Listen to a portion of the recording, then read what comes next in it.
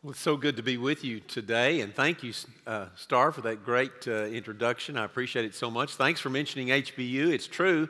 Uh, Greg is uh, the chairman of our board of trustees and has done such a fabulous job. We are so blessed to have him. In fact, his term uh, originally was supposed to end um, this October, uh, but the board took a special vote and ex- asked him to stay on for another year as our chair, which has happened very seldom in the history of HBU. But uh, you can imagine why the board wanted to do that because Greg is such a great uh, uh, leader, and uh, and of course his his wisdom and his pastoral touch during these very challenging days uh, for everyone, uh, and certainly for the university, is much needed. So we're we are blessed to have to have your pastor, my friend, our friend.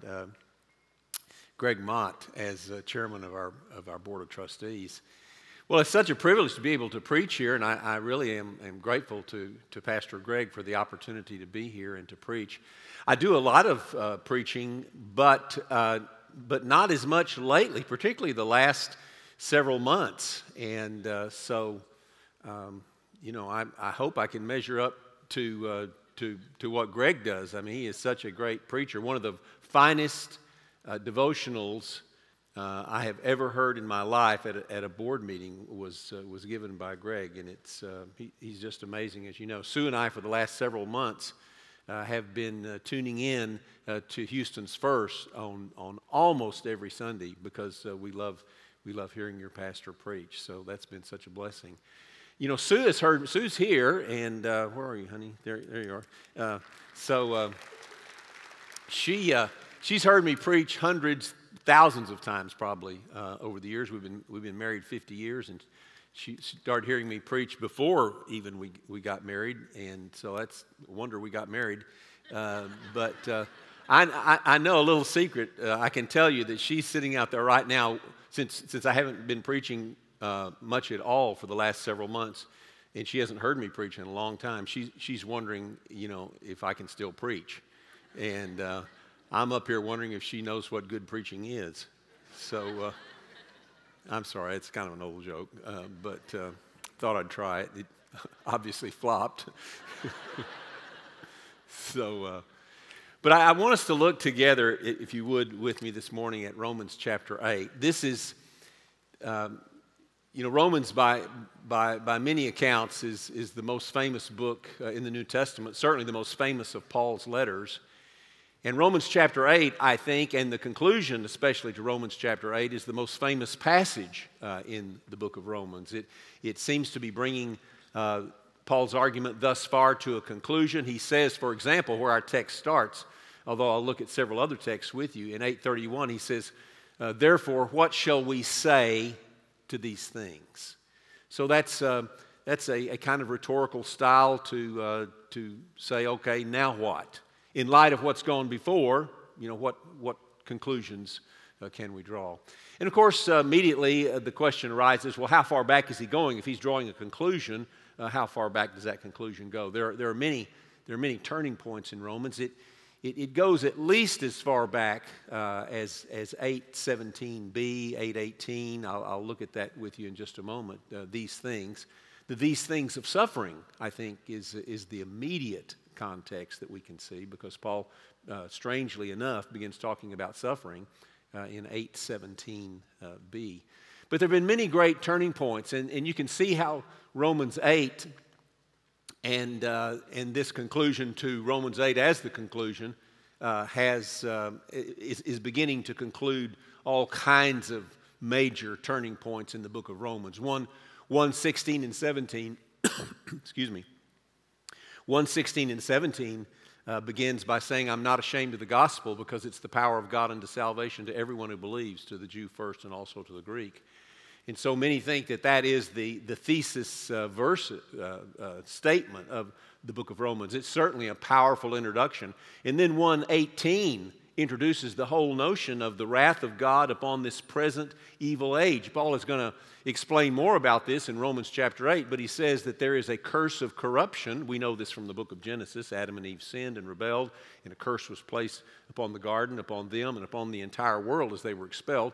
But Paul elaborates in Romans, 18, Romans 8 18 and following that there is a curse of corruption upon the entirety of the created order, and that the creation groans, waiting for its day of liberation.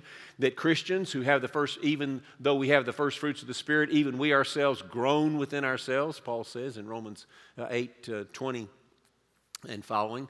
So it shouldn't surprise us that uh, he, would, he would begin.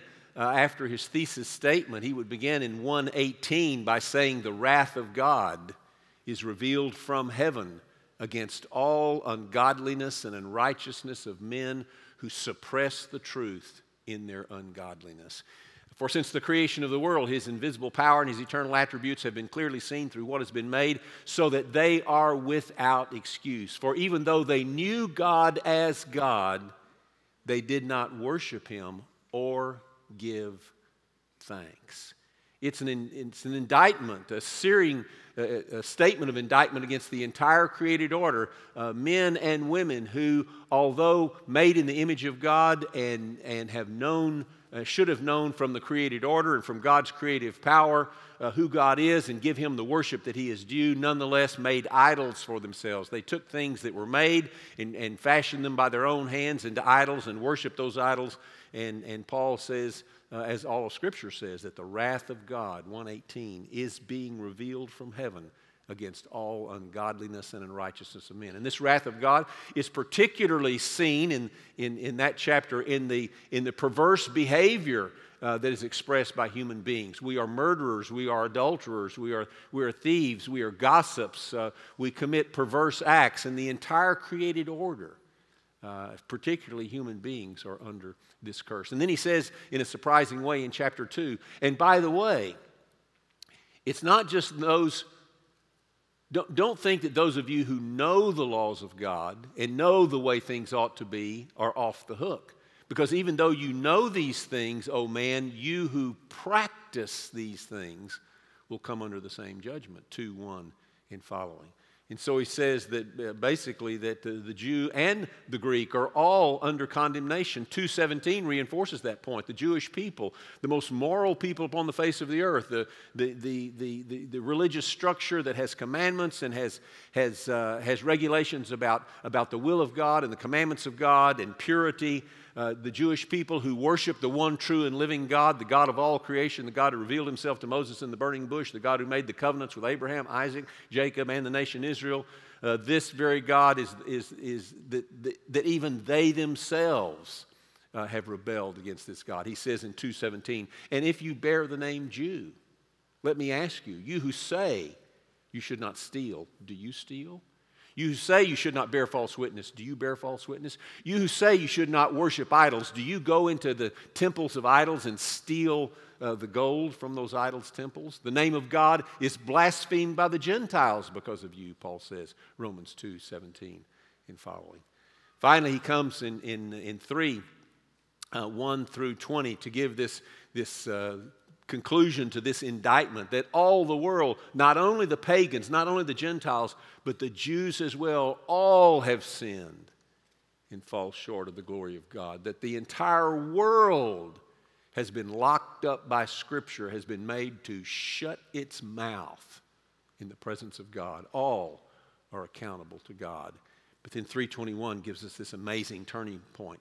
But now, Paul says, the mercies of God, the covenant faithfulness of God, the long awaited day when he would keep his promise to rescue his people that he made, beginning with Abraham, Isaac, Jacob, and Israel.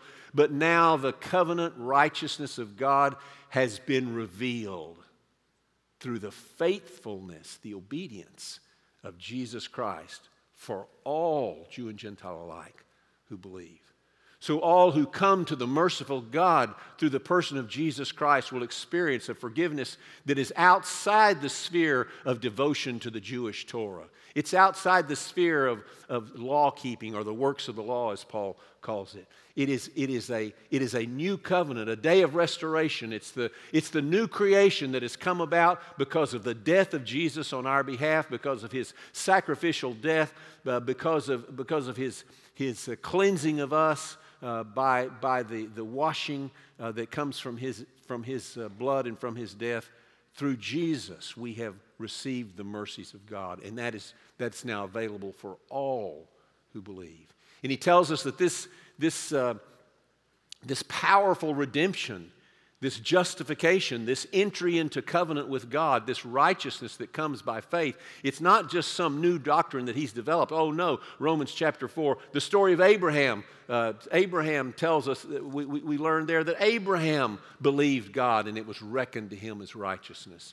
And then in Romans chapter 5, he's starting to draw everything to a conclusion. He says, Therefore, having been justified by faith, we have peace with God through our Lord Jesus Christ, through whom also we've obtained our access by, by, by faith into this grace in which we stand. And we rejoice. Here's the note of triumph. Romans 5, he's starting the conclusion. We rejoice in hope of the glory of God. And not only this, but we also rejoice in our afflictions, in our tribulations. He introduces this strange note.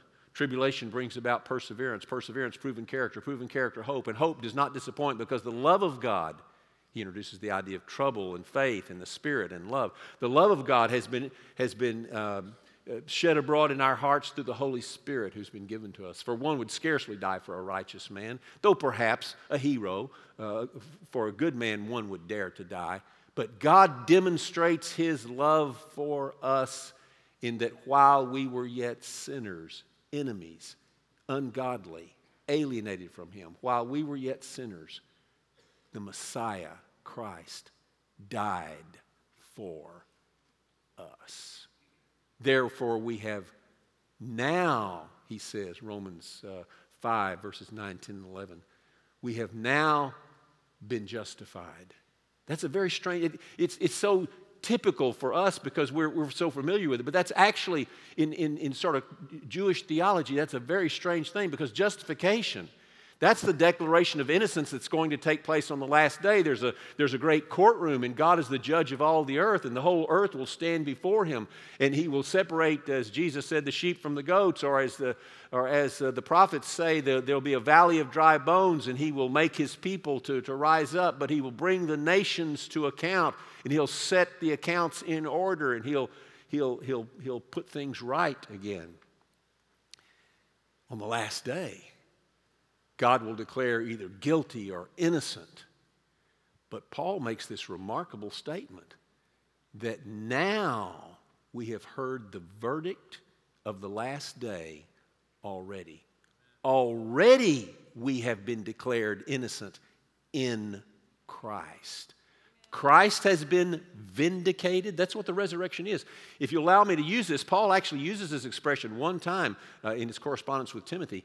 He says, he says that Christ was justified. You say, well, he's not a sinner. No, but justified means vindicated. He was crucified and vindicated. He was raised from the dead. He really was the Son of God, and they were, they were foolish, and the powers of darkness, 1 Corinthians chapter 2, were, were absolutely fooled. They would, had, they, had they known uh, that he was the, the Son of God predestined through the cross for our glory, they would never have crucified the Lord of glory. They were caught in a terrible trap. It was the plan of God that his son would die on our behalf. And so this, this, this, amazing, this amazing truth has taken place that the, the death of Jesus brings about already in him, just as he was vindicated and justified. So all those who are in Christ, we are justified. Our innocence has already been declared prior to the judgment of the last day. God has said, in all who are in Christ are, as he was vindicated, vindicated, justified. Or as he goes on to say in Romans 5 11, even now we have received the reconciliation. The judgment of the last day has been declared. And then Paul starts talking, he wants to summarize. He goes all the way back to Adam. And then he follows another potential uh, uh, line of thought. Does this mean that now that we've been forgiven already, and justified already that we can sin more that grace may abound, chapter 6. Or in chapter 7, what's the purpose of the law? Is the law therefore sin? Oh no, the law is holy, righteous, and good. Then why, Paul, do you say that we're no longer under the law? And he deals with that whole question in Romans chapter 7. But he comes in 724, Romans 724, to say, So who will, even though I know what I'm supposed to do, I can't do it, and, and the power is not within me to do it. I, I know what's right, but I can't do what's right. Who will liberate me from this body of death? And then chapter 8 begins the great conclusion, resumes the conclusion that he started in chapter 5. There's therefore now, the word now is a big word uh, in Romans. Now we have received the justification. Now we have uh, received the reconciliation. There's therefore now no verdict of condemnation for those who are in Christ Jesus. For the law of the Spirit of life, the resurrecting Spirit of life, has liberated you from the law of sin and death. For what the law could not do, weak as it was operating through the sinful flesh, God did, sending His own Son in the likeness of sinful flesh and as a sin offering. There has been a condemnation, but He condemned sin in the fleshly body of Jesus. Through the death of Jesus, the powers of sin have been conquered. He did so in order that the requirement of the law, the demands of the law, can now be met in us who do not walk according to the flesh, but according to the Spirit. And then Paul begins to describe in Romans uh, 1, uh, I'm sorry, Romans 8, uh, 4 through, uh, 4 through 17a. He describes the Christian life as, as the power of the Spirit helping us to put to death the deeds of the old creation, the old order, the power of the Spirit working within us, the Spirit guiding us, the Spirit bearing witness with our spirits that we are children of God, the Spirit enabling us to cry out, Abba, Father. We may know that the God who will stand before us on the last day is our Father who loves us through Christ and who will extend his mercies, has already extended his mercies to us. And so Paul says in, in uh, Romans uh, 8 17, and so the Spirit uh, bears witness with our spirit that we are children of God. And if we are children of God, then we are heirs of God. We're in the will. We have a future. Fellow heirs with Christ. He's been vindicated, we'll be vindicated. And then Paul makes, introduces this, goes back to that strange topic of tribulation. Since indeed we suffer with him in order that we might be glorified with him. Christ suffered, and though it was not expected that when the Messiah would come, the age of suffering would continue, Messiah has come, the resurrection has begun, but it's not yet finished. The age of suffering continues. And so, Paul, from this point in Romans uh, 8, 17b, 818, all the way to the, to the end of the chapter, 8, uh, 839, uh, tells us of how nothing can separate us from the love of God which is in Christ Jesus our Lord. The Spirit prays for us, the Spirit enables us, the Spirit helps us in our weakness. God is taking all these things of suffering, the curse that's on the created order, He's taking all these things and working them together for good for those who love God and are the called according to His purposes. So that brings us now back, 831. So, what shall we say to these things? What are the final conclusions to draw? I can't tell you the, the name or even when, or I won't uh, be able to. Uh, but, but I want you to I want you to hear a conversation I had with a very thoughtful man um, under the under the sentence of death. He was dying. Raised in the church, a um, thoughtful um, worshiper and um, so I was talking to him, and, and I said, How are you doing?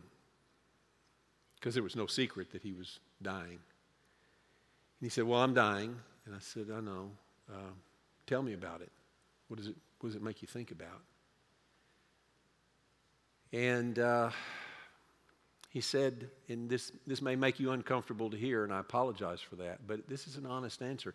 It's every bit as honest as Paul was when he, when he talked of the, spoke of the sufferings of this present evil age. Or in 2 Corinthians 1, uh, verse 8, when Paul, only a few months before, a few months before, had written to the Corinthians, he said, I would not have you ignorant, fellow Christians, about the affliction which came to me in Asia, that I was burdened excessively beyond my strength, so that I despaired of life. That's Paul talking about his own time of despair. And we, we, we live in times of despair. We, we live in times that uh, where, where, where, the isolation, the illness, the, the threat of death, let me tell you, suffering brings fear. It is, it, is, it is part of the human experience that when we suffer, we wonder is this ever going to be over? What's going to happen? What's the future hold? People are isolated. They feel fear. I heard just I heard two um, um, middle-aged uh, women talking uh, just a few days ago, and I caught just a snatch of the conversation. And one of them said, "Not being able to go to the nursing home to visit a friend is terrible. Oh, that's bad." And we've had the same experience in our family that, that you've no doubt had over the last few months. Funerals or deaths where you can't go into the hospital to visit a dying loved one. Funerals that can't be easily planned or attended, isolation, fear, suicide rates uh, are going up, depression is going up, undiagnosed illnesses are going up because of the attention given to the COVID virus. Necessary attention. 200,000 Americans over uh, have died from that. Businesses have been shut down. Civil unrest. That's been the, the tinderbox that has made a lot of this unrest uh, very powerful. Have you ever seen such political, social polarization in all your life? I haven't. I'm sure it's been here before, going back to the Civil War. But we live in some very, very troubling times. And so that man was honest. His, his words of honesty were, he said, I'm afraid. And I said, Well, you know, tell me about it. He said, I, I know in my head what the scriptures teach about the resurrection. He said, But I'm afraid. I'll just tell you the truth. I'm afraid. He said, I keep having two images. One of them, one of them is there's this ladder and I'm climbing this ladder step by step, and it just stretches up. And I keep climbing, and finally, it disappears into a dark haze. He said, I'm afraid of nothingness. He said, Now I know that if I die and there's nothing, I won't know that there's nothing. He said, But if there's nothing, I just tell you, he said, I'm afraid of it right now. He said, I feel claustrophobic. And then he, he said, and then this other picture I have is there's an abyss right in front of me. It's dark and it's bottomless. And he said, and I keep throwing a rope, trying to let the rope connect to the other side, and the rope won't hit or wrap around anything. And I, I can't get across. So we, without going into the discussion here, I, I did my best to remind him of what the scriptures teach, which he'd been taught all his life. That in the story of Jesus, it's not us climbing to God, that, that Christ himself has come down for our salvation. He has come to us. That, that, that the energy of God from the other side of the abyss has come across to connect with us. That the resurrection of Jesus, that, that salvation is, is, not, is not by the, the greatest of human efforts by technology, by, by health, by science, by human effort. But it's a new creation. That the resurrection of Jesus is God's energy coming from the other side of the abyss to us. And that the resurrection of Jesus was publicly witnessed, and we talked about the resurrection of Jesus. And then I said, and then as we talked on, he said, Well, let me tell you my other fear. And he said, and that is, he said, I know this is contradictory, but if there is something and not nothing, I'm afraid because of my sins. He said, I'm, I'm ashamed of the way I lived my life as a young person. And I'm ashamed of a lot of things I've done as an adult. And he said, I, I, I know the story of forgiveness. He said, but it's just hard for me to get over sometime when I know what I've done. Romans 8 31 and following talks about these two great themes the power of God that breaks through the isolation and the separation, and the mercy of God that's greater than our guilt or shame. Listen to Romans 8 31 and following. This is a courtroom. This is the last day. What should we say to these things? If God is for us, who is against us? This is the disposition of the Father. He has acted on our behalf. And this, uh, this phrase for us, it, it's, it's hard to translate. It's for us, and it usually means for us having acted for us in our place to our benefit. It goes on to explain that. How did God, how, how do we know God is for us? Because of what he did in the death of Jesus.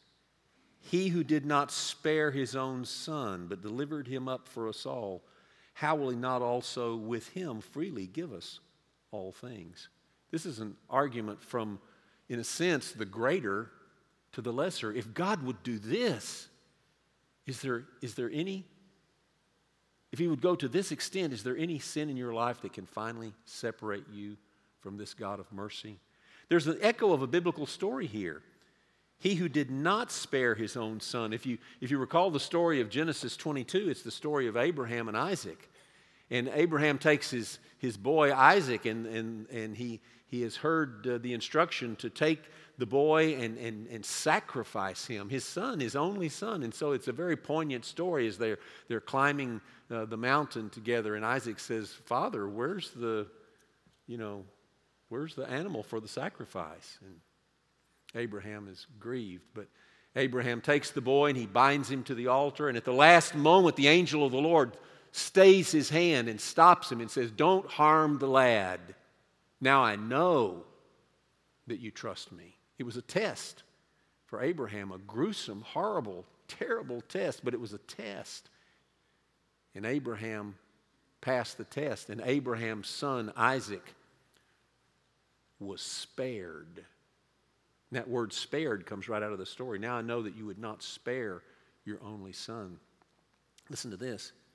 But the father who did not spare his only son at the last moment before they nailed him to the cross or before they began to beat him or plant the crown of thorns in his head, he did not spare him and save him with legions of angels as he could have done. He who did not spare his own son, but delivered him up for us all, how will he not also with him freely give us all things? And now the courtroom scene continues. Now it is the loving Father who is the judge in this case. The Father who has already declared in Romans chapter 5 our justification, that we are innocent. Now it's a question of, a, of, of God, the Father, the loving judge, who will pass, uh, who will make all the determinations in this case, indeed has already made the determination. And then there's a, a prosecuting attorney who will bring a charge against God's elect. In Scripture, you typically think of Satan as the great accuser, and that's certainly applicable here. But also, sometimes in Scripture, uh, we, we read that, uh, for example, Jesus says in, in, Matthew, in Matthew 12 that the men of Nineveh will rise up against this generation and say, We repented at the preaching of Jonah, and, and you haven't repented at the, at the preaching of Jesus and the, and the apostles who preached the coming of the kingdom of God. Or the queen of the south came to hear the wisdom of Solomon, and, and yet you've been able to hear the wisdom of the everlasting Son of God, and you've rejected him. So there are people who will rise up on the last day to speak against, uh, against uh, those uh, who've not repented. Or sometimes in Scripture, our sins cry out from the ground. You know, the blood of righteous Abel cried out from the ground. But who will dare? We're not told who the, who the prosecuting attorney is. But who would dare bring a charge against God's elect? The answer is no one. God is the one who has, and you can, based on Romans 5, it has already declared us innocent. God is the one who justifies. Who is the one who would dare to condemn God's people? Our sins are real. Our sins of heart and mind and body and action and omission are real. But our sins are not greater than the power of the living God through Jesus to cleanse us, love us, forgive us. We have found our mercies through the God who did not spare his only Son. Who is the one who condemns? Christ Jesus. And then there's another person who shows up in this final courtroom scene. There is an advocate. Christ Jesus, Messiah, King Jesus, who died. There are four clauses here. Who died. Oh, rather, who was raised. He's been vindicated. He is there in this courtroom scene at the right hand of God. He is the one who intercedes on our behalf. And then the question of power. Is there something that can isolate us? Is there a power that will fully separate us? Who shall separate us from the love of Christ? All these troubles of this cursed world, all the sins of this cursed world, all the tumults and turmoils, the poverty, the war, the rioting, the distress, the alienation, the isolation. Who will separate us from the love of Christ? Tribulation or distress or persecution or plague or poverty or danger or sword? It's true, Paul says. As the psalmist in Psalm 44 said, Lord, we're like sheep who are being slaughtered. For your sake, you're letting it happen. We, we, the psalmist in 44 says, Lord, we were innocent. We didn't stretch out our hands to a pagan God. And yet, Lord, for your sake, we're being considered as sheep to be slaughtered. Somehow, this, this is all in your hands and in your purpose. But then Paul says, But in all these things, the these things of suffering, of poverty, of war, of protest, of rioting, of injustice. In all these things, we are more than conquerors through him who loved us. Christ has been vindicated, and we are in Christ. We overwhelmingly conquer. Then Paul concludes all these angelic powers that stir up these troubles in the world. Paul says, I am persuaded, I know that neither death, death is the final enemy to be defeated. You could almost capitalize all of these because in Jewish angelology, uh, these are terms for angels, angel, uh, spirits in the invisible world. Death, neither death nor life, nor angels, nor principalities, nor things present, nor things to come, nor powers, nor height, nor depth, nor any other created thing. None of these powers are strong enough to separate us from the love of God, which is in Christ Jesus the Lord. God has jumped the gap through Christ. The everlasting Son of God has come down for our salvation. The Father has sent His Son to us to die for us, and the Son has willingly laid down His life on our behalf. The Father vindicated Him in all those who trust Him. We are joint heirs with Christ. We are children of God. The Spirit reminds us that we are God's children. We cry out, Abba, Father. Can you look to God, the Father of our Lord Jesus Christ, and say, Father, through Jesus, save me? The good news is, He has already declared you innocent and His child in Christ. Lord, we pray that we would be found faithful before you. Lord, we love you. We extend ourselves to you. Lord, we confess our sins. We, we have done so much that we should rightly be ashamed of. And yet we have found, we confess your mercies through Jesus. Please rescue us, save us, heal us. And then, Lord, empower us by your Spirit not to stay isolated, but to do by prayer, by generosity, by faithfulness, by service, to do your work in the world. Lord, we want to be your people. Use us, we pray. In Jesus' name, amen.